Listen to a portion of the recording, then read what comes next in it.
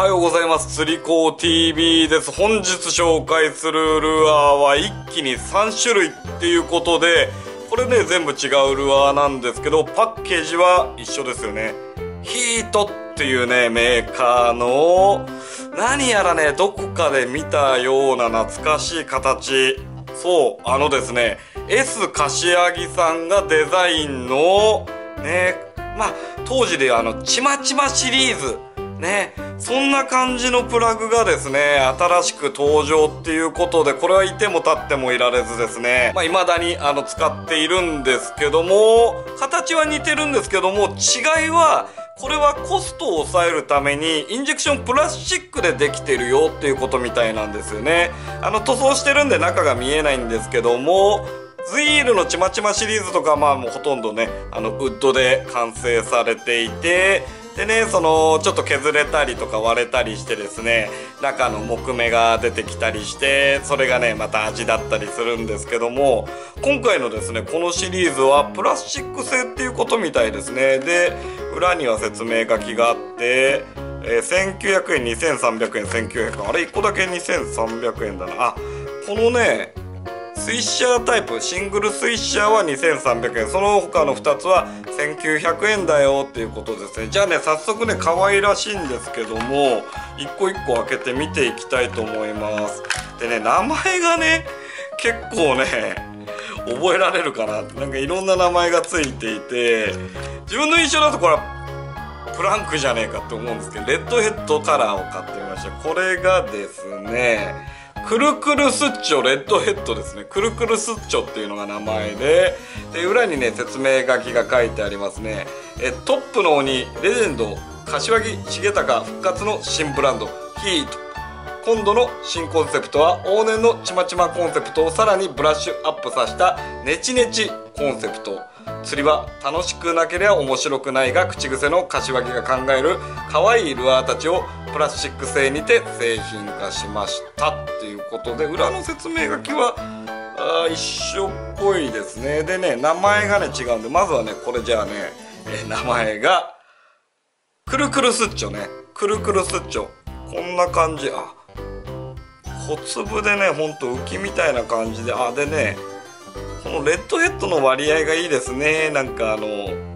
本当はねもうちょっとねレッドの部分が少なそうに見えるんですけどなんかもう50対50みたいな感じなんでなんか印象的なカラーリングですよ。でこのね後ろのスイッシャーが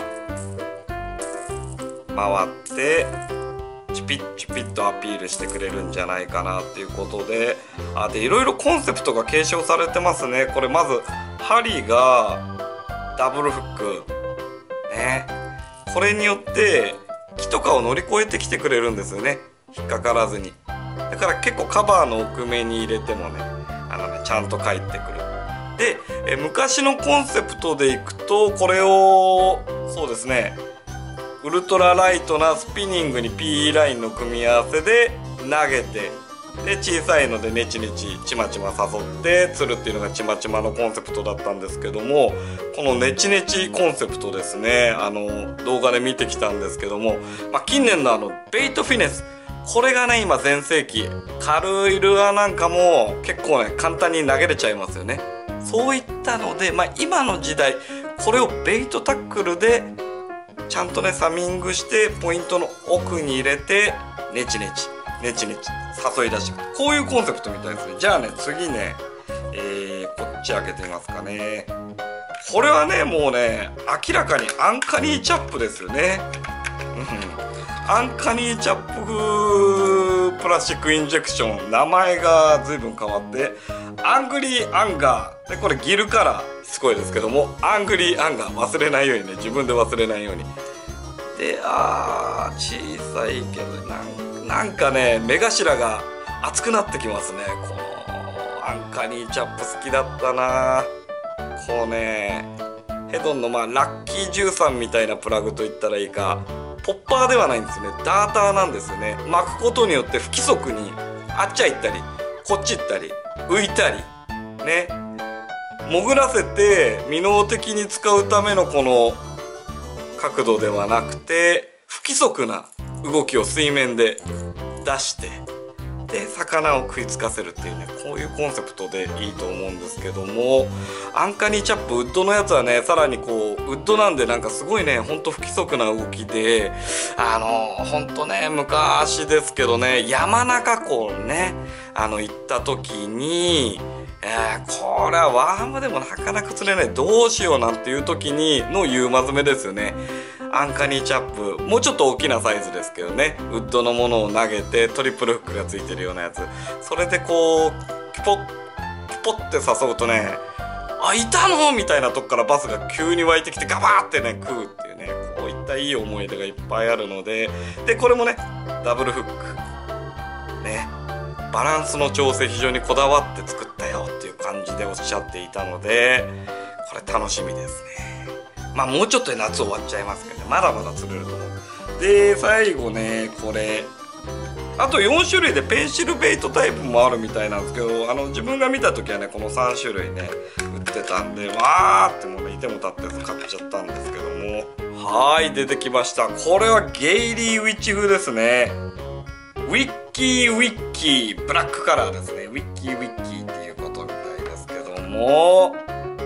これがねまたね切り立った口。ね。一見ポッパーのようなんだけど全然ポッパーじゃないんですよね。うん。なんていう形なんだろう。もうねゲイリーウィッチ形なんですよね。うん。ズイールがこの形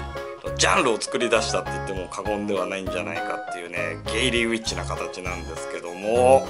プラスチックになってこのですね令和の時代に復活っていうことでこの切り立った口がこれまたねただ巻きをするとポップ音を出すっていうよりは不規則にねこうねなんかね泳いでくるんですよね。グリグリグリグリってグリグリグリ止める。グリグリグリ止める。グリグリガバってね食うようなね。でまあロットワークによってはちょっとねこの形なんでちょっとねパシュってねスプラッシュというかあのちょっとしたポップ音みたいなのは出るんですけども泳がせるためのこのねバランスっていうことで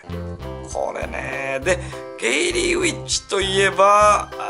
ブラックカラーって、ね、伝説のブラックっていうのがあってまあ色選べたんですけどもレッドヘッドとかねギルカラーもかっこよかったんですけれどもゲイリー・ウィッチといえば黒だろうと思ってで赤い口このね色を買ってました。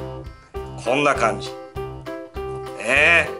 ネチネチコンセプト。この後もね続々といろいろ出てくるような雰囲気でねあのお話しされていたんで楽しみだなーなんてまたね買ったらね、えー、こういう感じのトップウォータープラグも好きなんでちょいちょいね買っていきたいな。まあねあの余裕ができてきたらあのぜひねあのちょっとだけ高くなってもいいからウッドでもねやってほしいですね。またこの形ね柏木さんデザインでウッドでトップでねそんなの使いたいななんていうふうに思いますけども。ねこれどうですか？ボックスに隠れていたらね絶対ね役立つ時は来るんじゃないかなっていうこと。で以前ちまちまシリーズなんか好きで使っていた時なんか思い出しても結構ね野池とかで50アップとかねなんだかんだ言ってちまちまで釣ってるんですよね。ああ一日ねいろんなの投げてでかいプラグとかワームとかいろいろやってねあれ